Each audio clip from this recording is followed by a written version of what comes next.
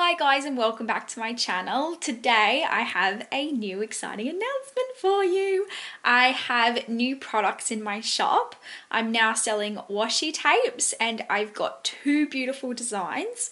So I've got this lovely rose pattern and a tea and coffee design that I absolutely adore. And I've also got little mini watercolor prints and I'm selling them in packs of four and they're perfect for journaling. The artist that designed the washi tapes and mini prints is Rhiannon and her Instagram is in the description box below if you want to check it out. She's an amazing artist. I really encourage you to check out her page. Um, and if you don't already know, my my shop is called My Stationery Collection, and I'll have the link in the description box as well if you want to go check out the new products. Um, today, I'm actually creating a few journal spreads using the new products in my shop. So while you're watching me journal, I just also wanted to read out a beautiful poem that I read the other day. It relates perfectly to our current environment. Hope you enjoy. It's called Time.